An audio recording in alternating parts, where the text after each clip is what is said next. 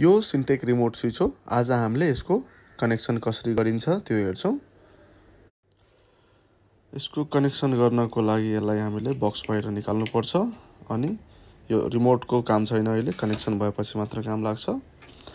यसको पछाडिपट्टि पाँचवटा पोइन्टहरू छ।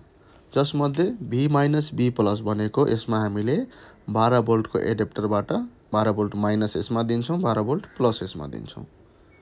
अनि त्यस पछाडि यो स्विचको जुन कनेक्सन छ दुईवटा तार त्यो चाहिँ एउटा कमनमा आउँछ एउटा चाहिँ एनओमा आउँछ। यसको कनेक्सनको लागि यो पाँचवटा पोइन्ट छ। यो पाँचवटा पोइन्टको हामीले यहाँ पाँचवटा पोइन्ट देखाएछौँ। यसको कनेक्सन डायग्राम यो छ।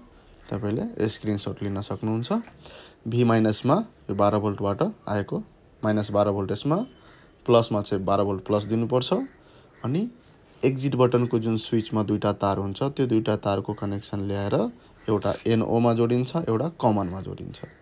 जुनसुकै स्विच भए पनि एक्जिट बटन होइन जुनसुकै स्विच भए पनि स्विच भनेको दुईवटा तारलाई स्विच गर्ने हुन्छ। त्यो दुईवटा तार भनेको एउटा एनओमा जान्छ एउटा कमनमा जान्छ।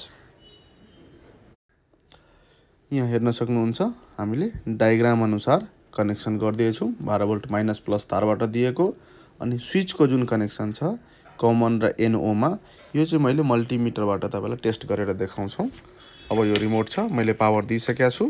अब यो रिमोट थिच्न बित्तिकै यहाँ हेर्नुहोस् स्विच गरिदियो। यसलाई छोडेपछि आफै स्विच बन्द भइहाल्छ। ल यसरी नै हो रिमोट स्विचको कनेक्सन यो भिडियो हेर्नको लागि धन्यवाद।